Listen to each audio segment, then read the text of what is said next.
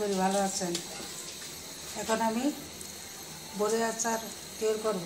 এখানে এক কেজির মতো বড়ি আছে। এগুলি শুকাইয়া তারপরে ই করে হালকা করে ছেঁচে নিয়েছি এগুলি। এখন এগুলো আচার বানাবো।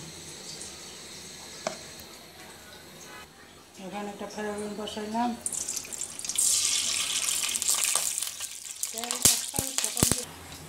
এখন তেল গরম হয়েছে, এখন এইগুলি দিলাম পাঁচফোড়ন হাফ চামচ।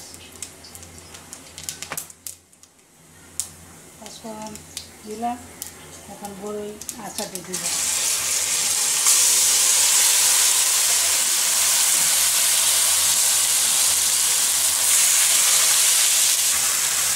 এখন তেঁতুল মিশিয়ে একশো গ্রাম মতো এগুলি দিয়ে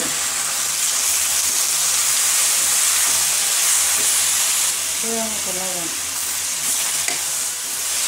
নাড়াচাড়া করব মিনিট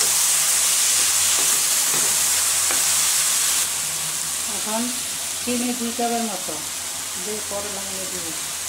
দেওয়া যাতে বেশ মিষ্টিটা তেঁতুল দিচ্ছে এই জন্য একটু চিনি বেশি লাগে, রাও চিনি দিচ্ছে আপনি এই চাকলে দুধটা, আখের দুধটা করতে পারেন। সাদা শিলটা দুই চা তিন চামচের মতো দিলাম।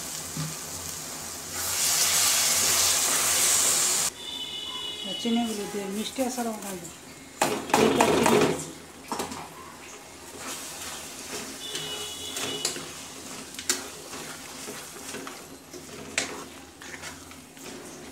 যদি মিষ্টি বড়ি, বড় মিষ্টি বড়ি আছে ওইটা শুক না দিয়ে আদাটা শুকাইয়ে তারপর আচমন দিয়েছি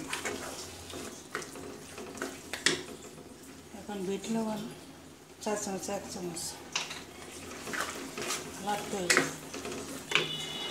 এখন মরিচ চার পাঁচটা আর হলো ই নিচে জিরা, ধনিয়া, পাঁচফোড়ন। এগুলি দুই চামচ পাঁচফোড়ন। এগুলি অর্ধেক দিও নামানোর সময়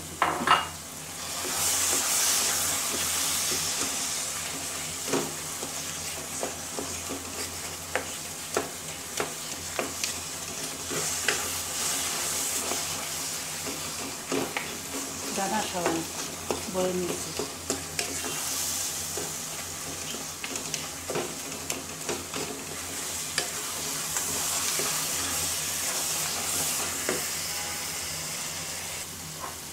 এখন এগুলি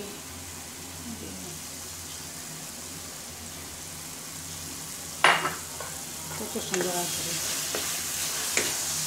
হয়ে গেছে নামাই কত সুন্দর আচ্ছা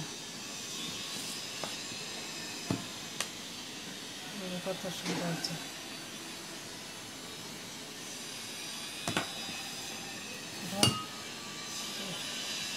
এগুলি ছিঁড়ে ছিঁড়ে দিব।